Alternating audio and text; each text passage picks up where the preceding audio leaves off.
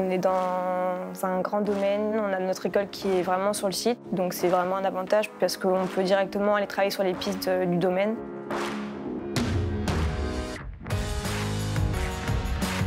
L'alternance, franchement, c'est vraiment bénéfique. Ça m'a permis de m'ouvrir vraiment parce que je suis quelqu'un d'assez renfermé. Et le fait d'être en contact avec les chevaux tout le temps, de travailler, c'est quelque chose qui m'a vraiment ouvert et qui m'a vraiment plu. On va atteler, on va monter, on va faire beaucoup de soins. On a les cours généraux et on a des cours un peu plus poussés dans la gestion. Euh, on a aussi des cours d'hypologie, donc pour nous apprendre un peu la morphologie du cheval, euh, tout ce qui va nous apprendre après, bah, nous aider dans le métier. C'est un métier de passion, il faut vraiment être passionné, avoir les chevaux, il faut avoir ça dans le sang. L'internat est directement sur un centre d'entraînement, donc on est à proximité de tout.